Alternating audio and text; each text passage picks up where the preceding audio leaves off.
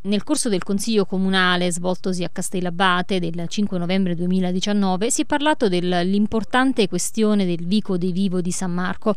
La Giunta, su proposta del sindaco Spinelli, ha messo ai voti una delibera per intervenire sull'istituto che rischia di vedere una fine. Secondo la delibera si richiede un intervento alla provincia e al dirigente scolastico del Vico dei Vivo al fine di ristabilire le condizioni minime di sicurezza dell'edificio scolastico e di effettuare gli interventi di manutenzione per permettere il regolare utilizzo di tutto l'ambiente scolastico.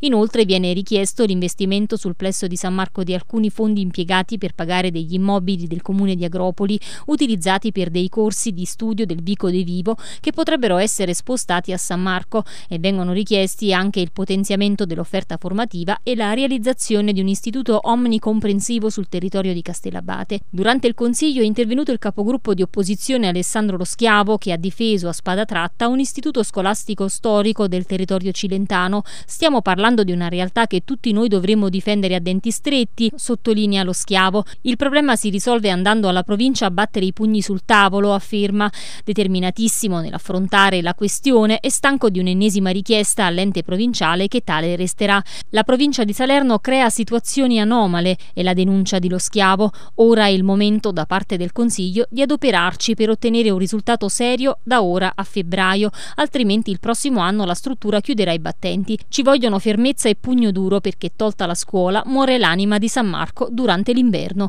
Sono queste le parole di Alessandro Lo Schiavo, capogruppo d'opposizione, che sta partecipando attivamente ad una battaglia per fermare una quasi inesorabile chiusura di un istituto importantissimo per il territorio cilentano.